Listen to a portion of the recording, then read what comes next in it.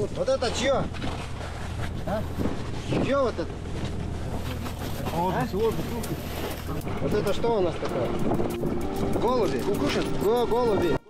Браконьеров поймали в Ширинском районе во время очередного рейда. Двое сирийцев передвигались по степи на внедорожнике по линиям электропередач в надежде встретить на них соколов. А в итоге встретили инспекторов охотнадзора. Граждане Российской Федерации, ранее уроженцы Сирии, периодически проезжают по данной территории дороги и отлавливают птиц. Было выявлено 4 голубя в коробке, которые являлись приманкой для сокола. И силки, и укрывной материал был. Данные вещи изъяты.